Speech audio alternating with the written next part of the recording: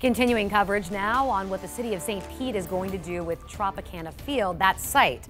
After years of discussing and pitching ideas, today Mayor Rick Kriseman announced Midtown Development has been selected to redevelop this 86-acre site. The proposal would include 30 blocks of new development that's predominantly housing. 1,000 units would be low and moderate income, green certified units.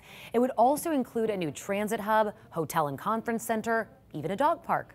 The proposal comes with two different scenarios, with a stadium and without a stadium. This is to cover all outcomes in case the Rays relocate when their lease expires in 2027. There remains much work to do. And that means moving forward with the process to redevelop the Tropicana Field site, with or without a baseball stadium. And the Tampa Bay Rays will help solve that outstanding question. Taking a deeper dive, let's take a look back at how we got here. The Rays have been looking for a new stadium since 2008.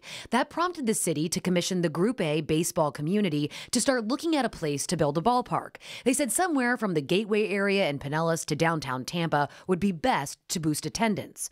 Fast forward to 2016, St. Pete gave the team permission to explore Tampa sites with a three year deadline. There was a proposal in 2018 to build an $892 million Ybor City Stadium, but no plans on how to pay for it. St. Pete then terminated the team's negotiating window. In early 2019, the Rays start talking with investors about a split season between Tampa Bay and Montreal. While the MLB gave the team permission to explore the idea, Mayor Rick Kriseman said not until the lease is up at Tropicana Field in 2027. Then, in July 2020, the city asked for developers to give their plans to redevelop the Trop site with and without a stadium. Mayor Kriseman says redeveloping the stadium will help move the city forward in its effort to create a space for everyone.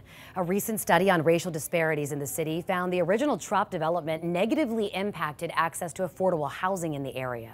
That study showed that people want city leaders to rethink how and where they're adding new developments in the future.